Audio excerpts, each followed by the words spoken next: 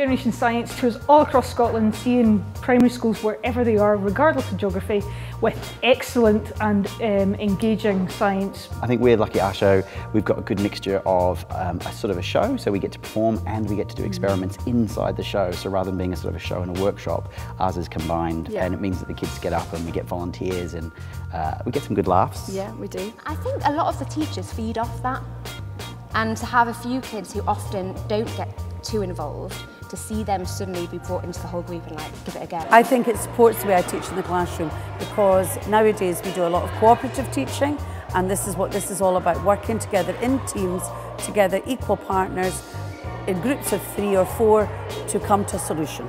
For example, in primary schools, it tends to be physics that the teachers have most problem with, but that's the bits that we can demonstrate nice and easy for them in a, in a fun and engaging manner.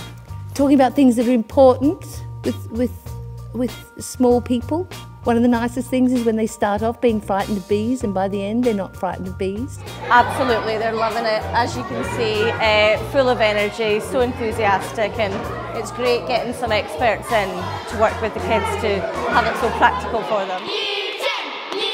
Most of the, the kit and the communicators that we take into classrooms don't exist in primary schools, so it gives them a chance to try different things, but also engages kids that sometimes don't engage in a normal school environment with something that's just a bit different for their day. It's also, I think, because it's someone else coming in, so it's it's different faces for the kids and, and the teachers. Yes, it works! I think it's just going out and getting young people, young kids interested in it. I mean, there's a difference in the classroom than actually getting them in here and actually doing the experiments for themselves and working together with each other to solve problems and things. So I think it's really great that the, you guys come out and do this sort of thing.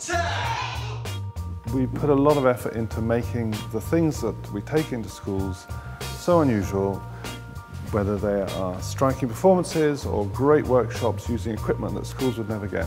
They're exceptional experiences for the teacher and for the pupils.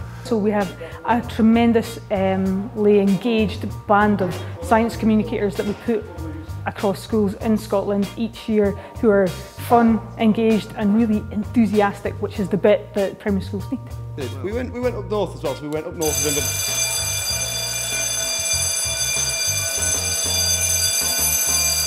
It's got a nice ring to it, that. Excellent stuff.